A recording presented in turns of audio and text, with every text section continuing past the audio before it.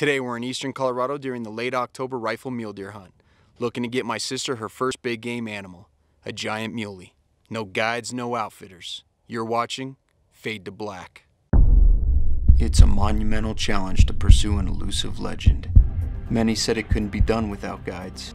Others said hunting without an outfitter was a thing of the past. Ordinary guys inspired by do-it-yourself hunting, our dedication and relentless pursuit continues to prove otherwise.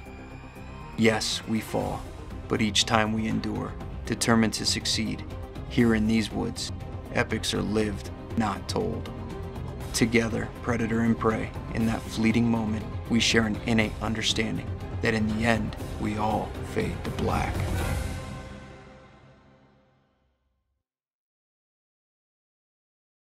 Fade to Black is brought to you by Huskemaw Long Range Optics, Dial, and Dead. Best of the West Shooting Systems. Nothing safe within a thousand yards. Challenger Sports Bar in Aurora, Colorado. Legendary hunts call for epic celebration.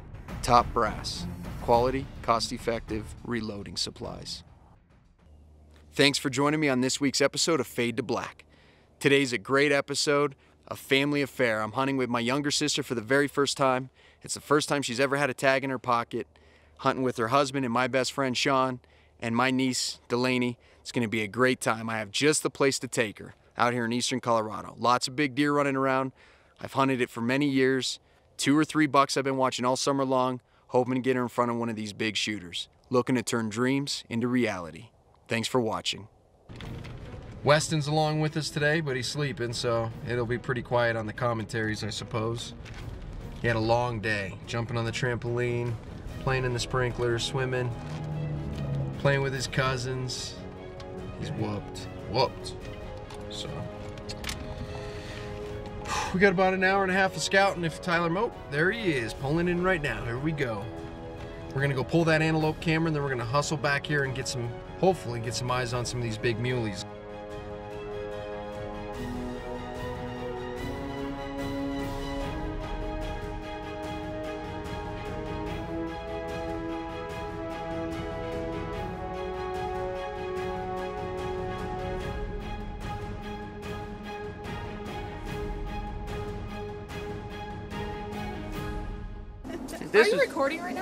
No. Okay, good. Thank goodness.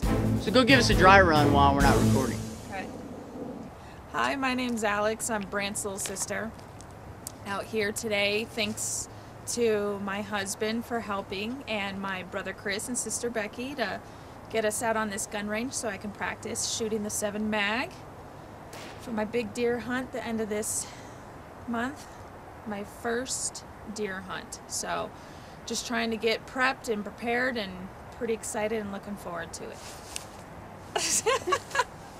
There you go. All right, that's, that was great. Maybe Brandt can edit that. Okay, I'm not recording it. You want one more dry run? Yeah, and I have to seem happier because I'm like. Yeah, yeah, yeah. You, You, know. you want, you know. Th- th- th- Hi. there you, yeah. I mean, listen, seriously. No. Well, I'm don't not just be like, "Hi, I'm Alex. I just popped this bubble gum. I would be blowing bubbles, I mean, but I know I'm on camera." chick.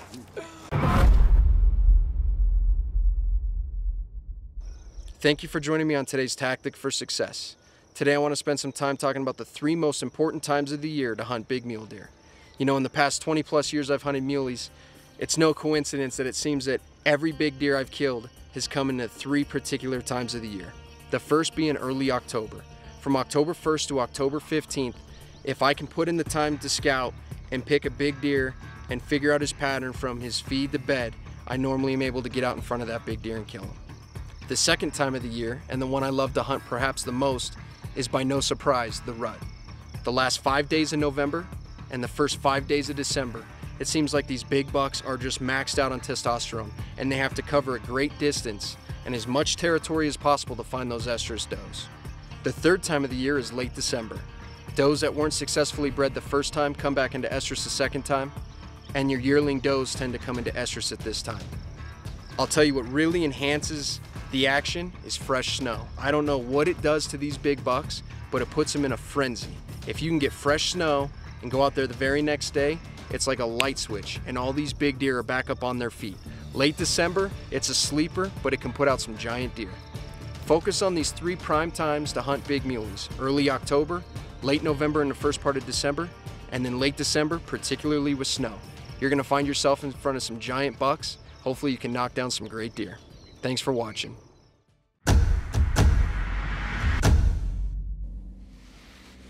The past few days, we've been relentless at chasing this big Colorado muley. Hasn't come together yet. I can tell you this much though, when we get back home tonight, whether we're celebrating or putting out the flames, we're gonna be going to our favorite hometown bar and grill in Aurora, Colorado, Challenger Sports Bar. With happy hour twice a day, seven days a week, whether we're celebrating a legendary hunt of a lifetime or drowning our sorrows, there's always a place at Challenger Sports Bar. Great food and drink specials, awesome staff. Now, if we can't get back to this deer hunt and see if we can't celebrate tonight,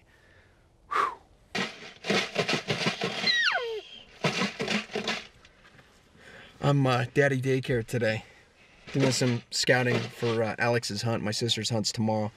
It's the first gun season out east here in Colorado. It's um, should be pretty good. We're looking at a couple decent deer right now. Nothing we'd shoot, but time's getting about right. We've already made a loop. Haven't seen any of the big guys yet. We're looking for mad left, looking for that big non-typical. They're uh, they're evading us right now, but we'll find them. The timing's getting just right. Halloween's in two days. Would love to get a big deer crack before Halloween, so. Alex! Weston's pretty excited. Yeah. He, wants the camera, he wants to look for big bull elk, but I tried to tell him we're looking for deer today, but. I want the big one. Yeah, we looking for a big one? Yeah. Bunch of does in this drainage. Same drainage I killed one? everything but fronts a few years back with my bow.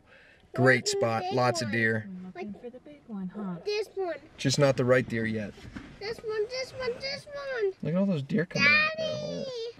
Waiting on a woman again. Here we go. 6:30. She told me she thought it was going to be a little too late. It is dark outside. Definitely not too late. Unless it takes her a long time to get to the truck, I guess. I'm looking for Mad Left, probably in the 170s. Moose in the probably 190s. Um, a couple other 170 class deer. No Sean, no Alex yet. Called him. You could tell he had just woke up.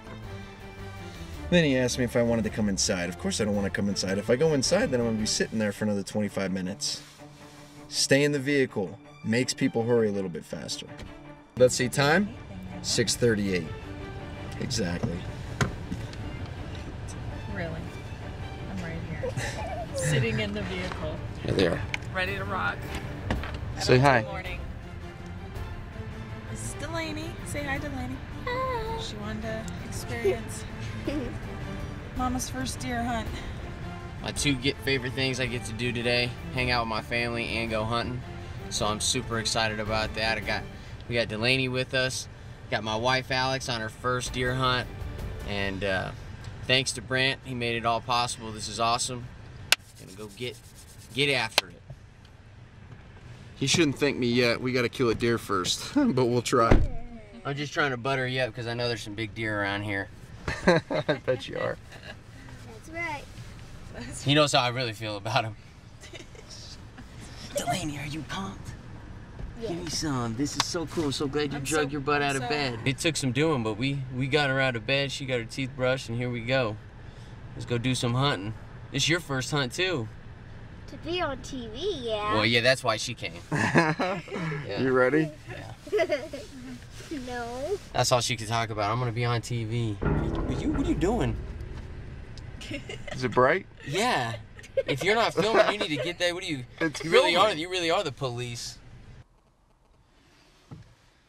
Found Mad Left. He's with three other bucks. He's with another really pretty nice deer, but there's a nice little draw on the other side of these pines, and they love to go lay down in that draw. It's pretty steep. So what they'll do is they'll drop in the bottom of that, and it stays relatively shaded the whole day. So we found moose, but he's not where we can hunt him. And the big non-typical, that 210 class deer, gone. I don't know where he is. We haven't seen him in probably a month, but figured this was going to be the deer we'd find, and sure enough, there he is. He's quite a ways away, but we found him. That's half the battle. What do you think, Alex? You like him? He is really unique looking.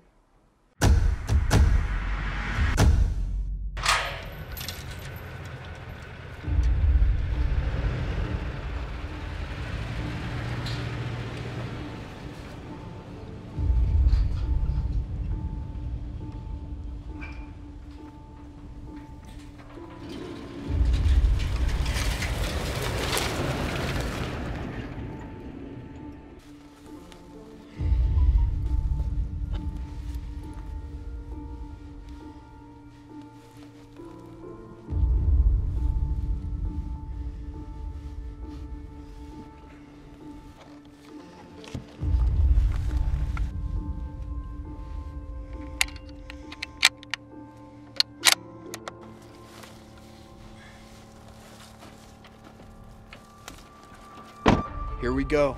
First attempt here at Mad Left, opening day.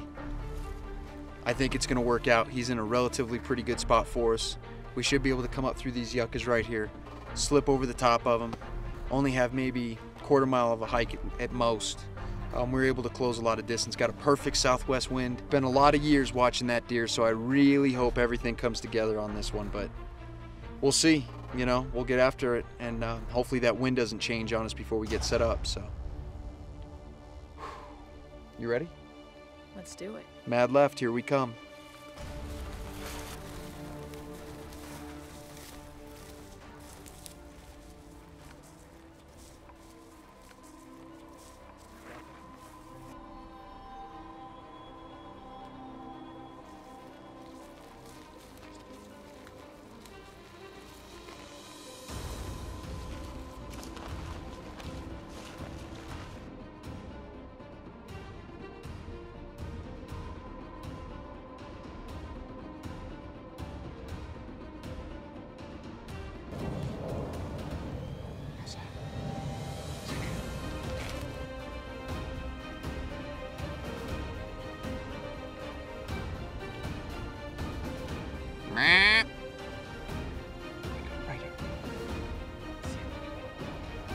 Go. He's gonna go up on that hill. Right here. This is one right here. This. He is far left one, I think. Hold on. Yep, it's him. Kill him. Kill him. Kill him. Pull him up. Kill him. Right there. Right there. Got him? Bottom third, kill him, kill him, kill him. Kill him, it's ready. Take your time. Squeeze. Nice shot, he's dead. He's dead right there. He's dead right there, just sit back. He's going down. He's dead right there. He's dead right there. But he's done. Mad left. I'm so happy right now. I can't believe it. I can't believe it. Hold on, hold on. Hold on. Mad left, baby. Mad left. I'm so happy right now. I feel like it's. I feel like a kid in a candy store. Perfect shot. Dude, I feel like a kid in a candy store. Perfect right shot. now. I can't even believe it, Brandt. I'm so happy. Thank you, God. I've been praying so hard, man. I've been praying so hard. Perfect shot, kiddo. Perfect shot. Thank you, Brandt. Thank you. Thank you. This is something I've been wanting for so many Mad years. left. Brandt, I've wanted this for so many years. My sister Alex right here. She's all fired up. I wasn't even up. shaking, and now I'm shaking. You were I dialed in. Were you good? Did that help you when I said just Dude, calm down and squeeze? it. You got it. You did. You did. And oddly, my nerves weren't going until now. That's because that's kill time. You got it in your blood. so it's in her happy. blood. That's right. That's exactly how it is. When the, when the moment Dude, of that was a opportunity comes, Perfect. perfect. Perfect. Holy crap! Mad left is down. What just happened? I seen that kicker on that side. I'm like, that's him. Kill him. Because I saw them all running. I'm like, oh crap, man. Yeah. I don't we have a shot. And then you're like, no, good he's thing. way to the left. Yeah, he was the bottom one back here in the left, and I knew when they ran over the hill, I knew he was that back when he had the giant body, big deer. You pumped? I, I. You Where's have that lucky no shell you ejected? You have no idea, man. Mad left is down. No idea. He was number. He was in the top three on our hit list, and he's coming home opening day. that shell. What a Halloween trick or treat day, huh? That's Merry Christmas Hey. right there. Good job. Love you. I love you. I love nice you. shot. I love you. There it is. Gosh, there it is. I'm Let me see the keeping that thing.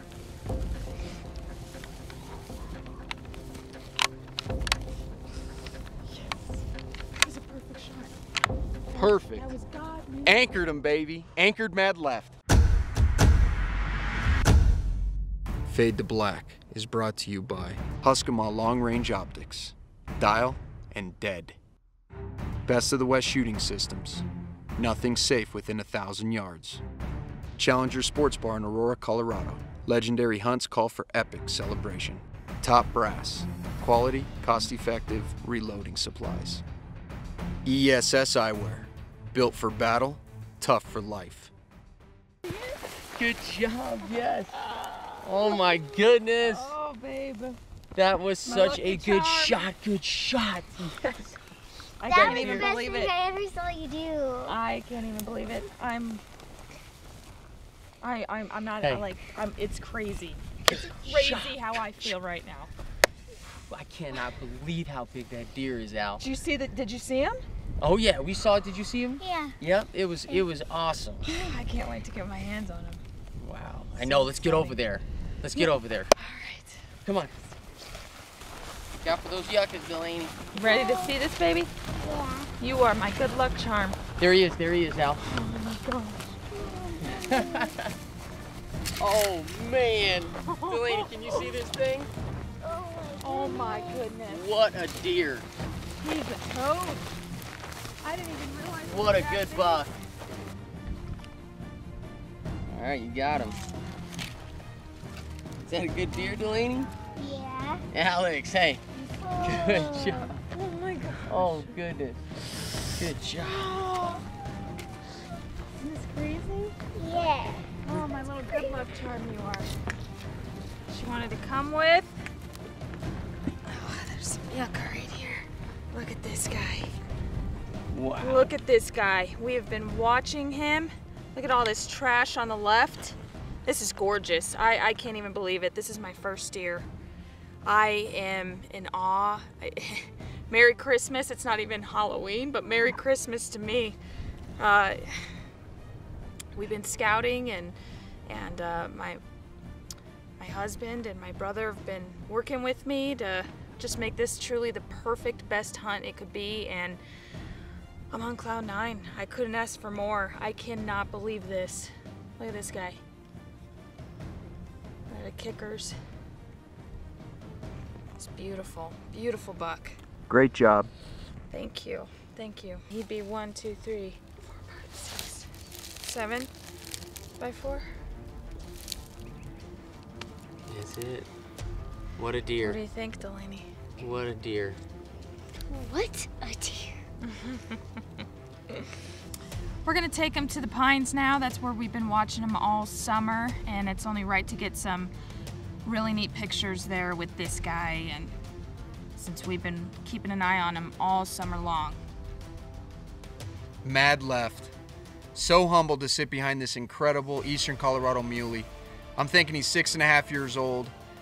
All the summertime scouting trips, um, hundreds of trail cam photos over the last couple years, and he's truly lived up to his name. He's got all that trash on the left side of his rack there, and I'm just very humbled and very blessed to be sitting behind this deer. I'm not even the one that pulled the trigger. My sister did. This is her first ever big game animal, and I, I, I I'm pretty much speechless. I mean, just, you know, it hits right here, you know, being able to take out family and people that have never done it before and friends that have never done it before. But her first ever deer and to capture and see that raw emotion that we'll be able to watch forever. I mean, it just, it means a lot. You know, we put a perfect stock on this deer. We watched where he went and bedded down. We spotted him early enough in the morning, waited till about mid morning to make a move on him. We knew he was a bet. He was in bed. He was sleeping. He was good and tucked away. And, you know, we put a perfect stock on. Alex did a great job following right behind me. The custom Best of the West 7 mag topped with that Huskemaw Blue Diamond scope. He literally took one step and fell over backwards. I just, I couldn't be more proud. truly a humbling experience. And then to have my my husband and my brother and my daughter Delaney with me today, just so amazing, and I am so thrilled. You think about all those great memories made and the family and friends behind the camera and sitting here with my sister on her first ever big game animal and what an animal to take. I love you. Thank you. Love you. Congratulations. Thanks for watching this week's episode of Fade to Black.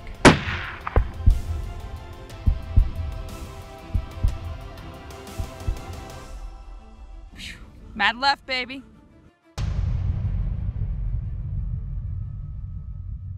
Mad Left. Wow, what a great, great buck. What a great story. I mean, we had been watching that deer for a couple years and we pretty much figured he had topped out. He had a huge body on him. He just wasn't genetically inclined to hit that 180, 190 mark, and that's fine. He was just as special to me, and I know super special to Alex. Very, very thankful I got to be sitting right there next to my younger sister and watching her harvest her first ever animal.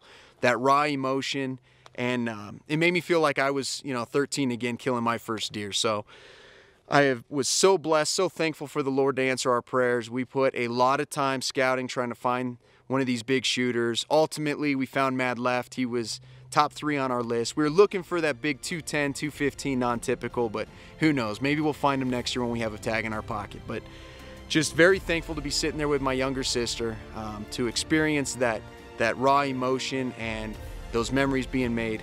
Thank you so much, Alex. Really do appreciate it. Thanks for joining us on this week's episode of Fade to Black. Be sure to check us out at fadetoblacktv.com and Facebook. God bless.